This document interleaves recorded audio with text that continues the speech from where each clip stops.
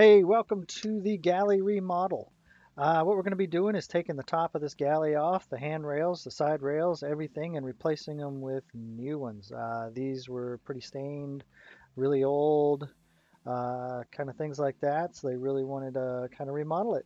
So what we're going to end up doing is pulling these side, side handrails off. They're not going to be savable because they are epoxied on. So first thing we need to do is remove this slider rail that the doors for the cabinet sit in and making sure that the tip of the screwdriver is in there really well before we pull it out because we don't want to strip the heads of the screws. Uh, I'm using a scraper to get underneath it and it's one of the easiest tools that I've found to get this done with, uh, pulling this rail off. Next thing we're going to do is get these handrails off. Um, and I want to try to save as many as uh, many of them as I can.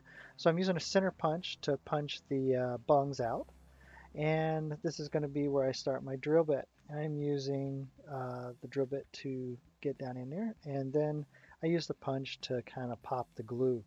Uh, again, make sure that I have a really good grip with the screwdriver and pulling all the and then once you get them out of all the edges, uh, it's time to go ahead and remove them. Uh, again, the uh, scraper tool seems to be one of the best tools. Uh, these are epoxied on, so had to break out the Dremel multi-tool. I have a review on this, and you can click right here to go to it. Uh, again, these were epoxied on, so you're not going to be able to save most of them. Uh, once you get them all pulled off, uh, then we're going to start working on plumbing and pulling the sink. So I want to make sure that my drain is, or my uh, valves are closed. I went ahead and pulled all the plumbing, pulled the sinks out, and the top is off. You can also click on the icon of Merlin right here at the top and go to how to remove this top. All right. After the top removal, you'll see that there's tons of glue on top of, of the countertop, and we'll get to that in a moment. Um, using uh, oak here to build the sink up because the sink is a smaller sink. I use 610 to glue together and then rebase on the bottom. That was a test fit of the sink and this is a test fit of the two corners of the laminate. Again, using the multi-tool to uh, remove the trim off of the uh, stove section here. Uh, it's the only tool that's possible to actually get this done with in any kind of amount of time. Uh, the next thing we're going to do is go ahead and get all this glue off of here. There's nothing that removes this kind of, uh, or contact cement, except for sanding it off pretty much. Uh, once we've got the main part sanded off as much as what we'd like, then I'm using a hand, uh, the multi-tool again, to uh, get around all the edges that I can. Uh, cleaning the area up really well, I'm using acetone here and this will clean it really well and you want to make sure that there's nothing left on here. And if you find any high spots or anything that you would like to get off, I use a chisel to do that with. And then cleaning again. Uh, now I'm just going to block off my uh, laminate here really quick. Uh, all I'm doing is just really cutting a, a, a, rough outline so that I can get in easily and do my full trim. none of it's actually mounted down. I've just got weights on it just for the quick cut here. All right, I went ahead and take that out of the way. Now I'm going to start prepping the rest of the area. And I want to get into the edge here really good because it's flat edge of my laminate's going right up against this wall. So I want to get that corner really good. And then all of this is getting revarnished. And I want to revarnish this before I put the laminate on. So you can click right here and uh, it'll take you to more varnishing or how to varnish videos that I have and uh, you want to use the same uh, technique as I used on the floors right here. So just click on the Merlin icon right up there and it'll take you right to the floor video at the moment. Um, and it'll open up in another window. So now I want to tape off all the edges of that I don't want glue to get on. Uh, all these inside edges so I'm just prepping here for the uh, contact cement. So the green tape you'll see uh, is on the inside and I don't want glue to get down in there and I don't want glue up against the wall so I'm just prepping all my edges here uh, for the uh, contact cement. And then I'm going to clean everything up really good again. Uh, again, I'm using acetone. And I'm going to do the same thing on the backing. And I use a longer roller and I just cut it into thirds and it saves money and it saves, uh, you know, mostly money, which is a big thing. So first thing I want to do with the uh, contact cement is put a layer of contact cement on the countertop and you just roll it out. Uh, be careful, don't get it on anything. Contact cement is super messy.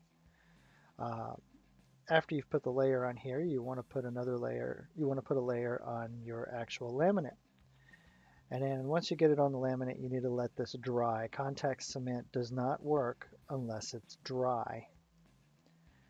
Uh, and you want to, I think it's a two hour time. Uh, so you want to let it dry for about two hours. It should be slightly, slightly tacky.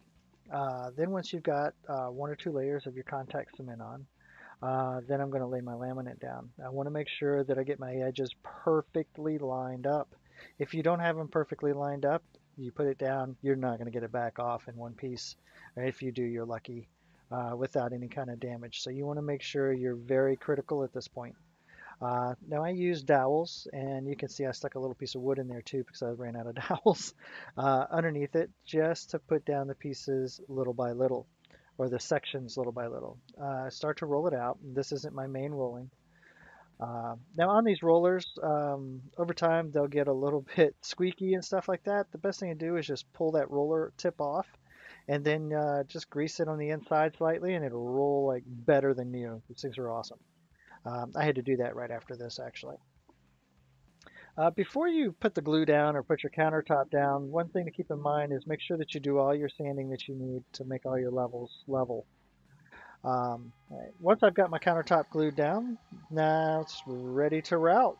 So I drilled my holes and the, them were just starter holes for my router. And then I put the router in and just go around my edges. Uh, you want to be very careful because some of these edges are actually beveled. So you need to make sure you have a good bit or the perfect bit for the bevel. And once I do that, I just get everything out of the way. And then just go back and double trim my edges like this. And it knocks off any of that extra cardboard from the laminate. After the laminate top is on, I can go ahead and start drilling on my holes for my plumbing. Now, with laminate, you want to make sure that you've got a backing on it so that you don't crack the laminate coming through it or it rips the edges or anything like that.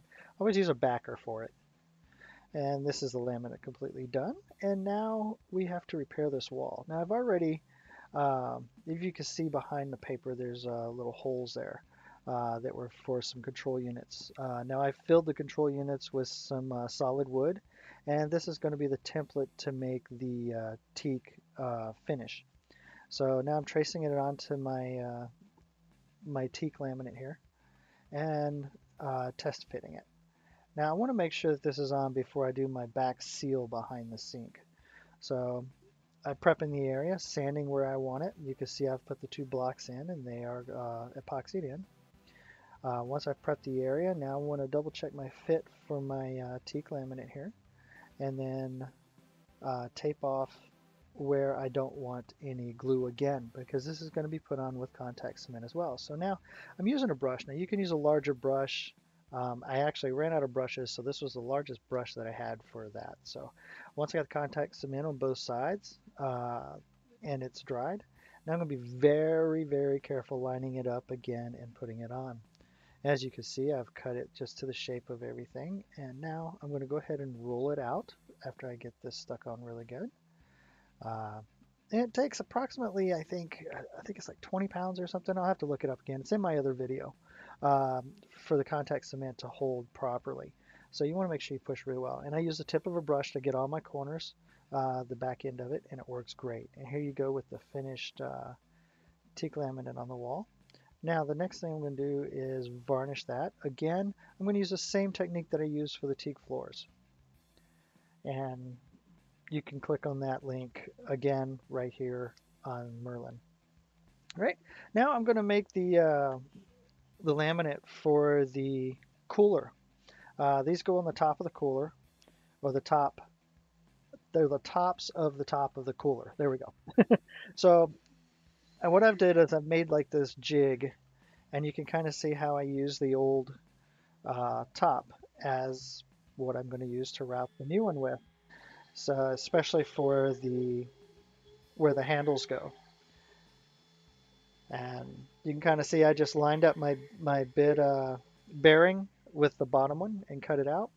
And here's the finished product of cutting out the holes for for that. And then once I put it on the tops, I just routed the edges normally and you get a perfect top uh, for the coolers.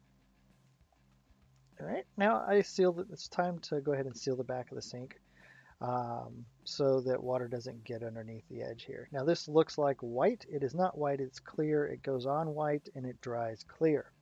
First time I ever used this, it scared the crap out of me when I put it on because the thing said clear and it was not clear. but as you can see, it's starting to dry here and it's starting to dry clear and then right here it is clear. So we've got everything laminated and good to go right there. Um, and now it's time to put in the plumbing. So replumb your sink. Um, it's good to reroute your your your plumbing if you can and make it look really nice. And I tried to do that here as much as I could with the room I had. Uh, and then I'm getting my holes ready for the actual screws that come through or the studs that come through the back of the sink as you can see right there. Uh, and they fit right down into the corner now this is just a test fit. Uh, as you can see, the tape's still on there.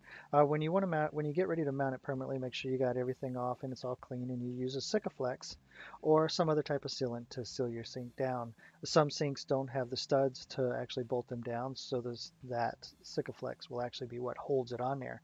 Uh, here's the finished product, plumbed out, and the sink in. Um, I hadn't received the rails yet, so I'm about to build the uh, or put the laminate on the shelf that's above the sink.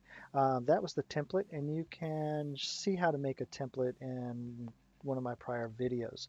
Uh, now I've prepped it and I'm getting it ready to put this top on. Uh, and I want to use the same techniques as what I've used before or what we just used in doing the galley in putting this top on. The only difference is the template. So just make sure you check out the video for the template. And here we go with my outro and hope you like my new one. Hey guys, welcome to my new outro. As you can see, I've got three videos over here. Uh, the first one's going to be the continuance of this video, which is going to show you how to do the rail installations on uh, heads or uh, galleys, which is what this one's on. Uh, there are no videos that I found out there on how to actually put the handrail uh, or side rails on these guys. So this one should be the only one. Uh, that's why I decided to make it its own video. Uh, other than that, the other two videos are probably going to take you to one of uh, my other two how-tos, and one of them may be the haul out. Uh, we just did a haul out, hence why it's taken me so long to get these new videos up. Uh, so hopefully I'll be able to get all this video edited and get them up pretty soon. Uh, there's not a lot of how-tos on the haul out because haul out uh, costs money per day and it's a lot of time and uh, I was just able to do more before after type stuff. So I'll have that one up soon so you can check that out. I'm also planning on doing a lot more uh, videos here really soon. Should have transmission replacement and engine replacement and uh, a few other things like that. Uh, but my main thing here is, is I would like you guys to, if you could, comment down below and put in what you would like to see done or what how-tos you would like to see.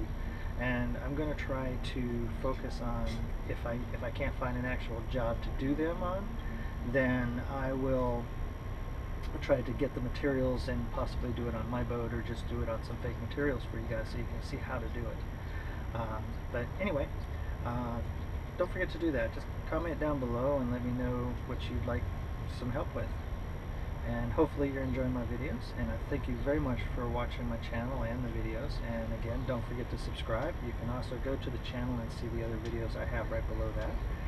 And uh, you guys have a good one and I'll see you soon